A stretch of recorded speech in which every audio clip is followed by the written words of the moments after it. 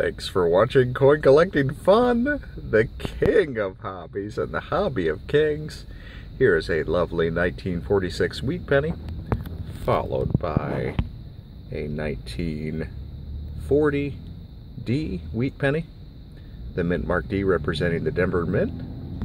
And right here we're looking at a 1956 D wheat penny, also the Denver Mint. So this is a look at the front of the coins, or what's known as the obverse of the coins. Now let's go ahead and take a look at the reverse of the coins.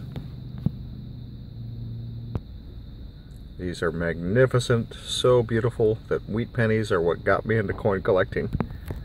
They're just awesome coins, so if you have many of these, just hold on to them. They're sure to appreciate in value. Thank you so much for watching. Please like, comment, and subscribe. And check out the link below this video in the description section to see a cool coin from the Philippines.